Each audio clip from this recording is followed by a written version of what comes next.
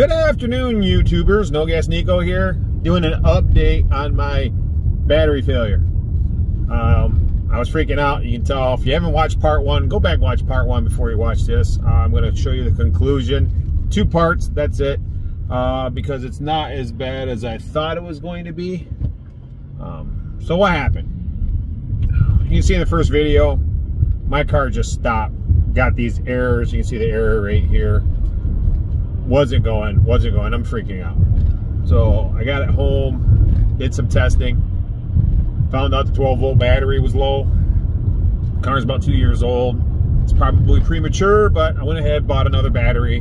Didn't want to take it to the Nissan dealership because it was 40 miles away.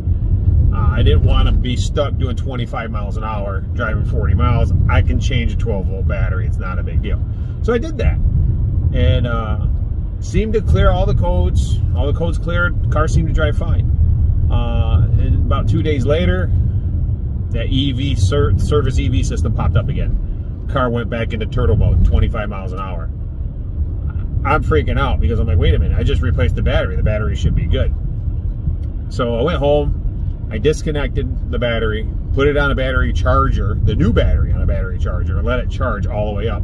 It wasn't completely full, so I went ahead and charged it all the way up. And then I still had my appointment at the dealership because I, I didn't know what's going on. These cars are so sophisticated. I wanted the dealership to give me a clean bill of health. So last Tuesday, this is Friday now. Tuesday, took it in the dealership. Uh, dropped it off in the morning for a Wednesday appointment. It's no big deal. I just took it a day early.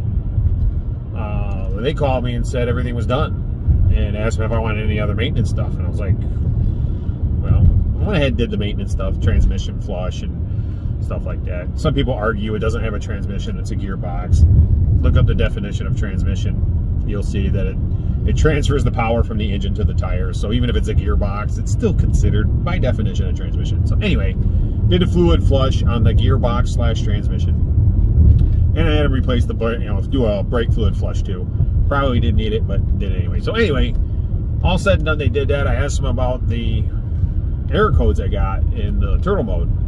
And they said it was probably a low battery that I got brand new. And it threw a code before the battery could be fully charged. And obviously I fully charged it. Now I've been driving it since. Car's fine. Uh, ride's fine. So, um, title of my video, battery failure. Absolutely correct, but it is a 12 volt battery failure, not the high voltage battery thankfully.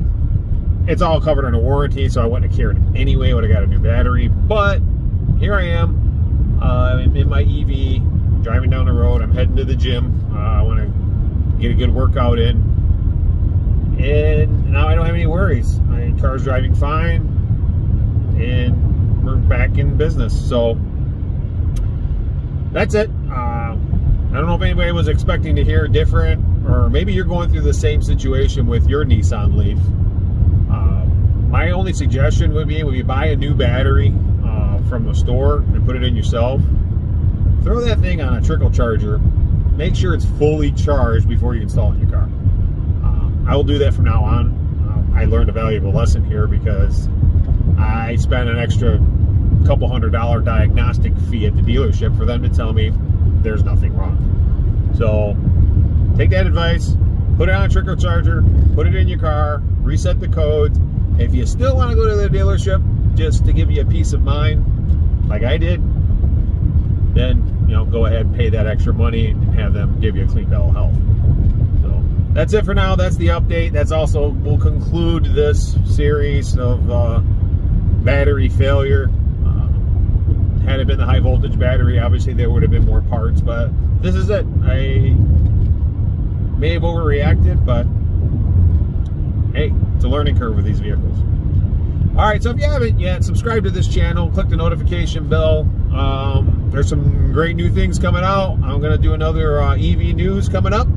That's going to discuss some of the new EVs on the market, including Dodge. They're shaking it up like they normally do. All right, that's all for now. Thanks, and God bless.